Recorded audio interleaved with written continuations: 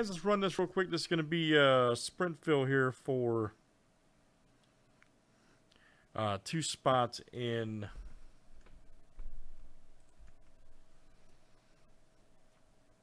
All-Star Rookie Cup uh, box number uh, 129. Good luck, guys. Let's see what we got here tonight. Gonna shuffle it seven times. One, two, three, four, five, six, and seven. And the winner, guys, gets uh, two spots. So you will get two spots. And that one, you got uh, Craig, Frank, Brandon, and Frank W. over there. Who wants it the most tonight?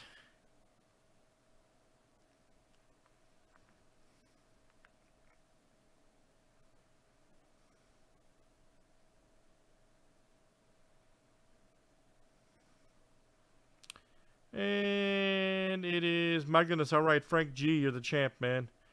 Frank G.